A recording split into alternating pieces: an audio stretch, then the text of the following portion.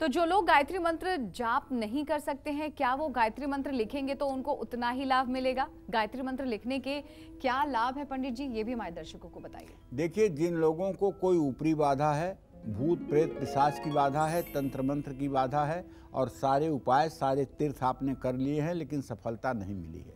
तो आपको चाहिए कि एक अच्छे से सादे रजिस्टर पर लाल कलम से या नीले रंग की कलम से आप गायत्री मंत्र को शुद्ध शुद्ध लिखना शुरू कर दीजिए।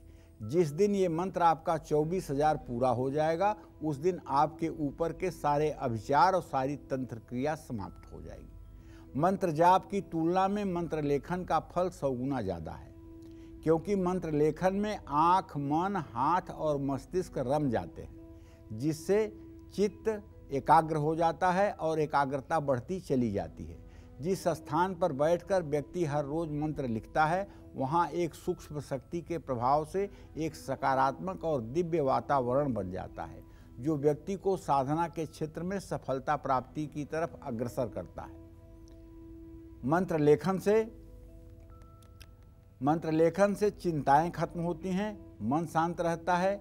मंत्र योग का ये तरीका मंत्र जप की तुलना में ज़्यादा फ़ायदेमंद है। इसलिए मंत्र का लेखन अपने आप में अद्वितीय विधा है। इसमें कोई संदेह नहीं है। जय माँ विंध्यवासिनी